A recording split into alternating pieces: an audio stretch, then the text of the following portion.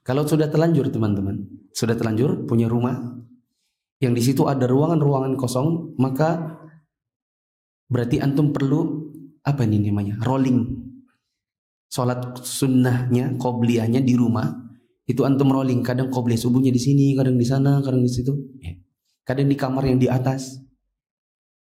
Kalau antum apalagi punya loteng yang di lantai tiga, yang di situ antum taruh barang-barang bekas, yang kadang-kadang malam-malam itu kayak ada ada anak-anak lari di situ, ya itu bisa jadi ya jin.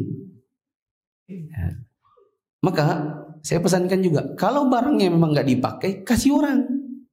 Nggak usah lagi digudangkan. Ada orang punya kulkas dua, sudah datang yang baru, yang satu simpan di kul, simpan aja di gudang. Siapa tahu nanti kapan-kapan dipakai. Nggak usah, keluarin aja. Nanti jinnya masuk ke kulkas.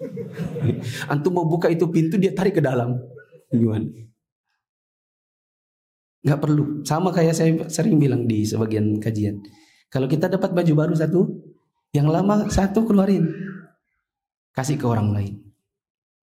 Kita dikasih teman misalnya, ini baju baru. Yang lama kasih orang satu. Toh antum tetap hidup. Ya kan? Dengan mengurangi baju satu setelah dapat satu. Begitu. Gak usah disimpan-simpan.